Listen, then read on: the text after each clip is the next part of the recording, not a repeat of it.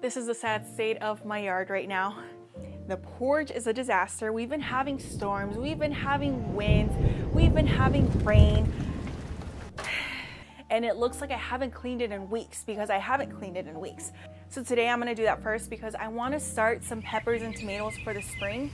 And to be honest with you, I should have started them back in December, but I was just so busy. We all got sick. I feel like almost the entire month of December, each of us was sick one week after the other. Achoo. Achoo! Uh, uh, achoo! Ah, ah, choo! Achoo! But it's a whole new year, baby. So let's get started. Please do not let me find any unwanted critters.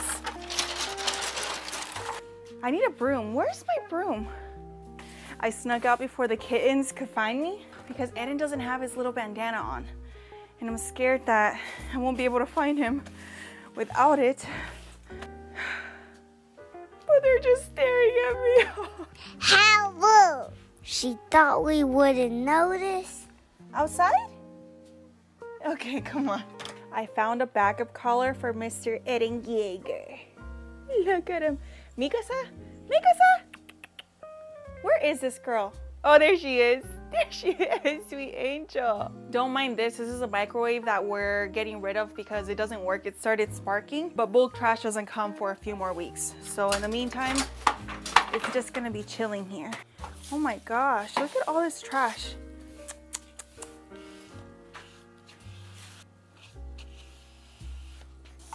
Okay. All right, all right. Oh, that looks so much better.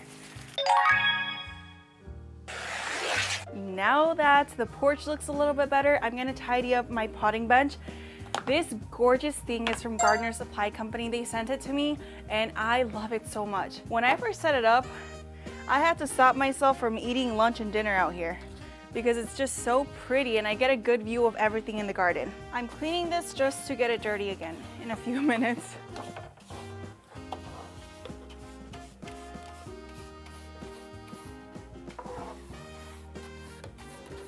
The cool thing about this potting bench is that it comes with this bin right here, which I use to mix up soil for my seedlings. That way it's a one pot dish. You can buy seed starting mix, you can buy potting mix. I honestly never use seed starting mix. I've never bought it before, I never will. I just like to mix up my own soil and use that. I know sometimes people will sift it to get it really nice and fine. I don't do that. I'm gonna tell you why. And maybe this doesn't make sense to a lot of people.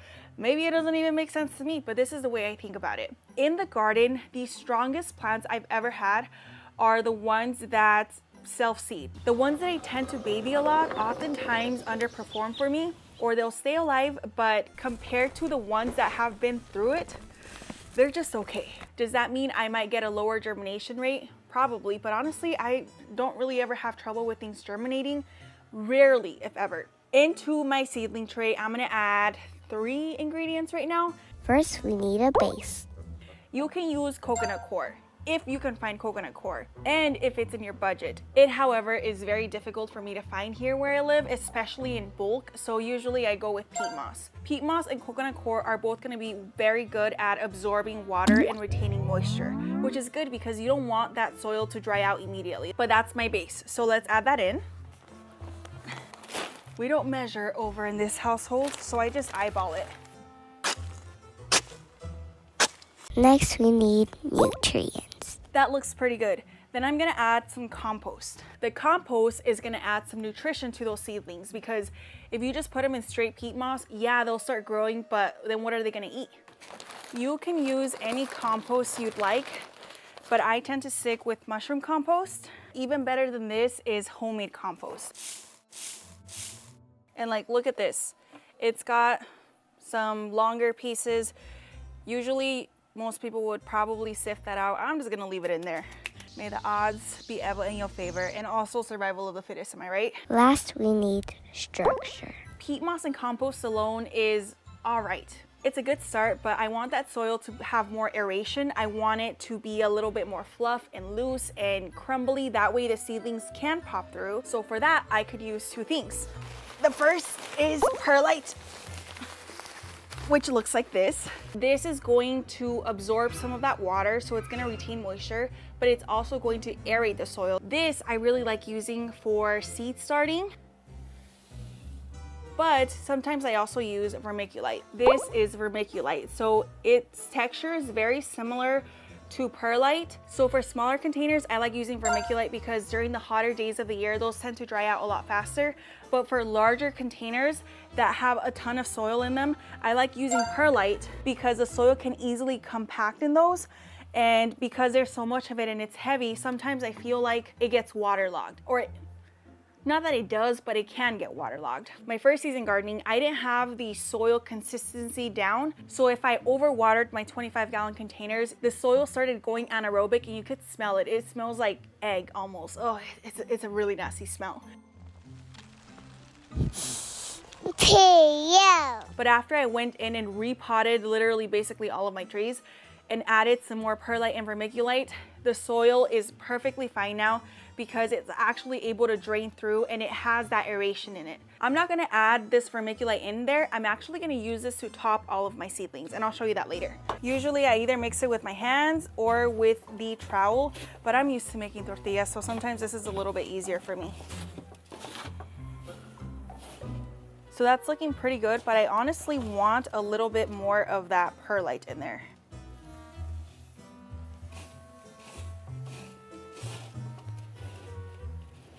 Now I wanna get this nice and moist. Do you also hate that word? I kinda like it, moist.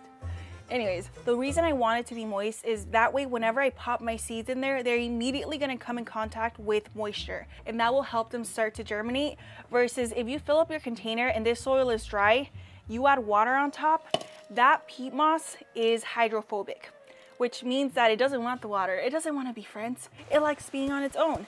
You kind of have to force them to get along.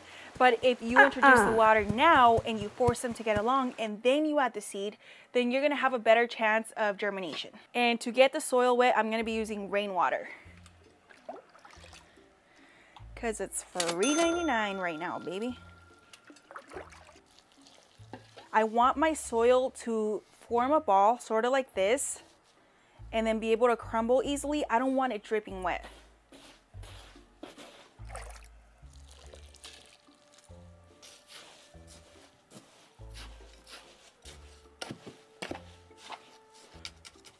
The bottom portions right here are a little too wet.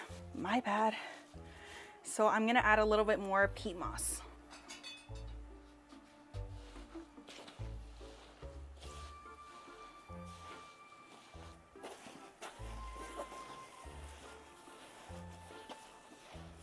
So if I squeeze, I can form a ball, but it can also fall apart loosely. So my soil is ready to go. Now, remember how I said I don't mind if the seeds struggle? If it's chunks like this big, then yeah, maybe I don't want them in there. But anything else like this is fine. I mean, that's not a big deal to me. Believe it or not, these are not even all of my seeds. I still have several other containers but today we're just gonna work on tomatoes and peppers. The most difficult part about this entire process for me is just choosing which ones I want to plant. Because if it were up to me, I'd plant everything, but I don't have enough space for everything, so I have to make a choice. For the sweet peppers, I do wanna start a bunch of them, honestly, because I don't have many in the garden right now, and I need more. So here's the categories I have right now. Indeterminate tomatoes, determinate tomatoes, and these also have some dwarf tomatoes in here. Tomatillos, sweet peppers, and hot peppers.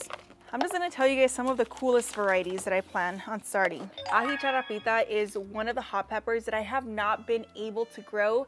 I have been through maybe about three packs of these. Every single time I'm able to get them to germinate, they grow their true leaves. They get about three inches tall and then the sun takes them out or something else takes them out, but I have not been successful in growing these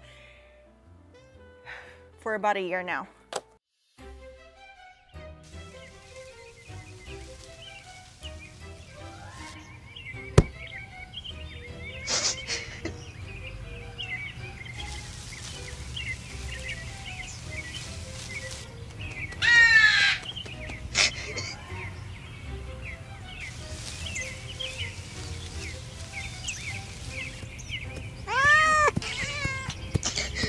And then I'm gonna grow some chiltepin wild chili pepper. I grew up eating chiltepin as a kid and I love the flavor, but they're also very expensive. The only place that I'm able to find them is Food City and they're expensive. A small bag with maybe like 20 little dried peppers is like three, four dollars. So I need to grow some myself. And the only other one that looks really cool that I'm excited to grow is called ají cachucha. And it looks like this. It kind of reminds me of a little hat. For the sweet peppers, oh my gosh, I wanna grow every single one of these. First is the Etiuda pepper. This one I wanna grow just because it looks really nice. I don't have a whole lot of bell peppers growing in the garden. The only ones that I've successfully been able to grow are purple ones, and those don't taste the best. They are really beautiful, but taste-wise, they are mediocre. Arroz con pollo pepper. I heard Jess from Roots and Refuge Farm raving about these a few years ago and they finally came back in stock. They're supposed to be a Cuban seasoning pepper and they're not spicy at all but supposedly very very delicious. The yellow monster pepper. Look at this thing. That's a beauty right there. I want to grow things that are nice and bright in the garden because if I'm gonna grow food, I wanna grow really cool food. Usually I don't buy yellow peppers at the store. They are really good in salads, but I usually tend to go for the red ones just because those are the most flavorful. My kids love them and they can go in just about everything. Okay, see, I'm gonna wind up going through all of these sweet peppers. Are you okay with that? Because if you have somewhere to be, you need to cancel those appointments because we need to go over all of these guys. The next one is habanada pepper. This one looks like a habanero, but it's not spicy. It's supposed to be really nice and sweet. Murasaki purple pepper. I'm telling you, this year is gonna be the year where I'm gonna have color everywhere in the garden. Usually I have green stuff everywhere, but I want purples and reds and oranges and yellows. I think that's gonna be beautiful. And imagine, imagine the harvest baskets. Oh, my mouth is watering just thinking about them. Next is the shishito pepper. I have been able to grow this one and it tastes really good, but mine don't get as large as the ones that I see other people harvesting. I don't know why. Do they do you not like me? That could also be the fact that the first year peppers usually don't turn out as great as the second year peppers. And where I live, I'm able to overwinter my pepper plants. I have some that are a couple years old well, like two years old. I just keep pruning them back and overwintering them. And so I'm gonna start a couple more of these because the flavor is exceptional and the plants that I already do have will probably produce better this year. The Lesya pepper, look how gorgeous that is. This one is supposed to be the sweetest of all the peppers. It's got a really thick flesh and it's high yielding. I just think it looks beautiful. It kind of looks like something I would find in a Valentine. For the tomatoes, I have so many varieties. I'm just gonna tell you the ones that I'm super excited to grow and ones that I think you should probably grow as well, if you want, of course, because I will never tell you what to do. The first is a Sun Gold cherry tomato. This one, I'm gonna be totally honest, okay? For me, it has not performed the best. Every time I plant them, the vines are just very bald for the longest time. They take forever to take off, and then once they do, they don't produce as much as some of my other cherry varieties, but the flavor, oh my god. The flavor on these is exceptional. To this day, I have not tried a singular other tomato, cherry tomato at least, that tastes nearly as good as this one. It is just outstanding and one that I plan to grow forever and ever and ever. And I should probably also order more seeds because I don't know how many I have left. Do I even have some left?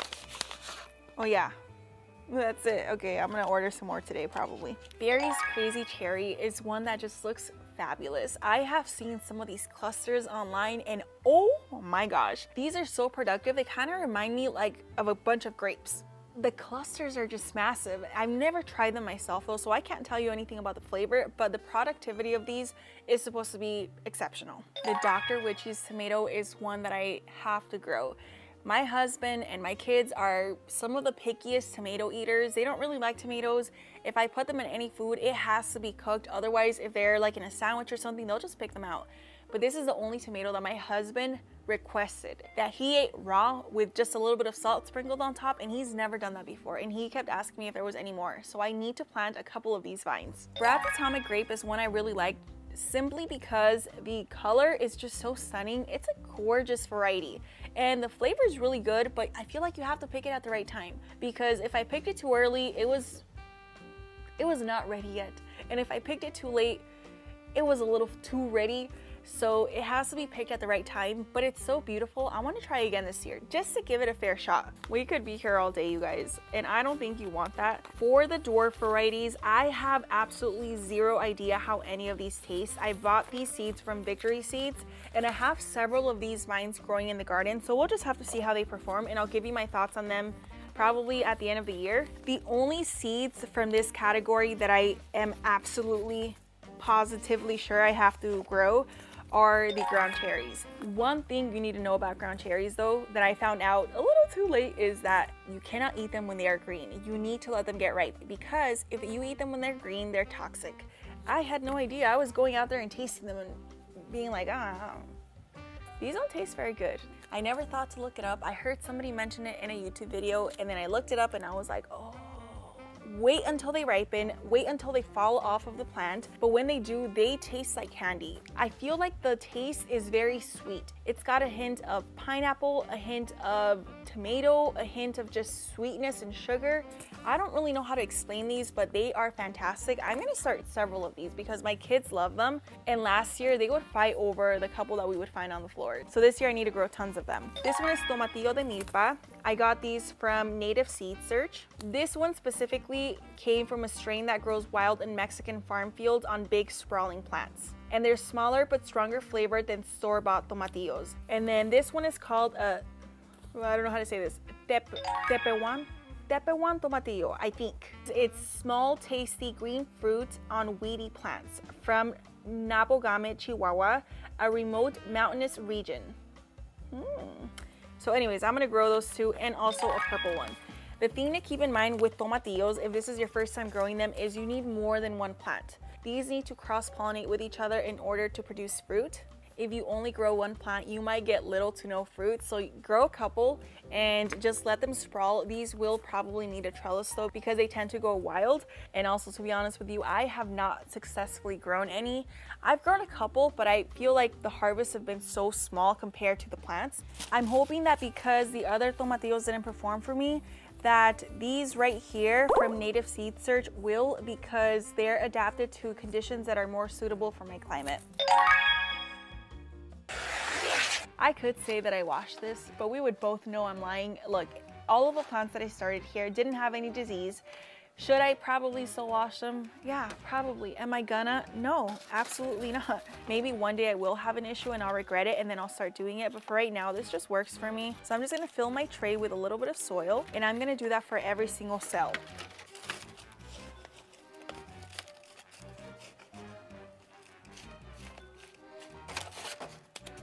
Now that I have my cells ready to go, I'm gonna take some tags.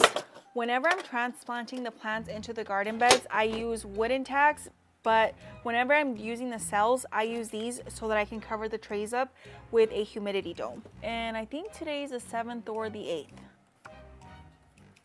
And then I'm just gonna put my label right here. I think I'm gonna start two of each plant.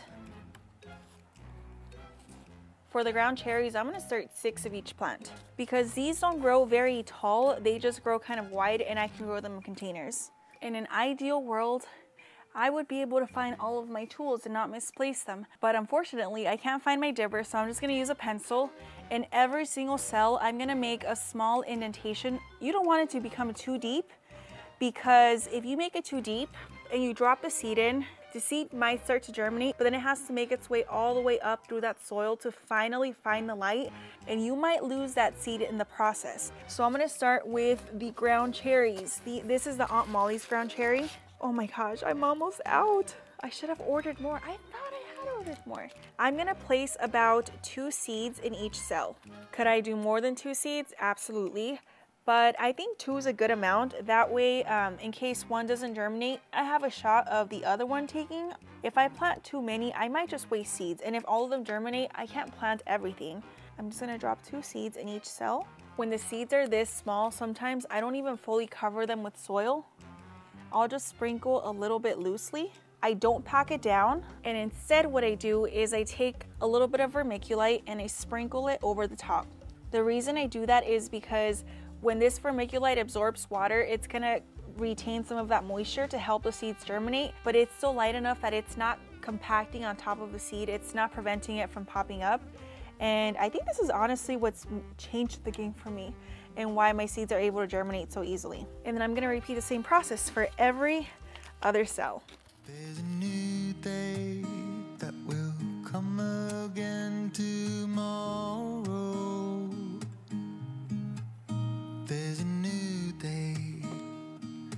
Wash away the pain. There's a new day to take away your sorrow. And the old ways get washed out by the rain. Because I've pre-moistened the soil, I'm just gonna lightly water the top. During the day, it's nice and warm here in Arizona, but at night, it can get pretty cold still. So I'm gonna cover it with a humidity dome to help trap in some of that heat and also to stop any birds or anything else from eating my little seeds before they sprout. This is the humidity dome that I'm using right now. It's from the Greenhouse Megastore. I'm gonna be honest with you, it's not the best quality, or at least not anymore, because it just gets so hot here that it made all of the plastic sort of warp a little bit. And I was hoping that it would sort of snap into place that way it doesn't go anywhere. But when it gets too windy, it can fly off. So what I do is I set it on top and you can see that there's some gaps here. Then I take these little, what are these called? Clips, uh, office clips, bought them at the Dollar Tree. They come in a pack of like 10 or 12 for a dollar, a dollar 25 now. And I just clip the four sides. When I cover them up every single day, in the morning, I will come out here and I'll uncover it. And then right before the sun goes down, I'll cover them up again. And then once my seedlings start to take off, I won't use the humidity dome anymore. And they should be good until they're ready to transplant. And that's basically it. Thank you so much for watching. If you like this video, you might also like this one, where I built a pretty badass garden trellis. Or you might like this one, where I made some uh, rustic garden tags.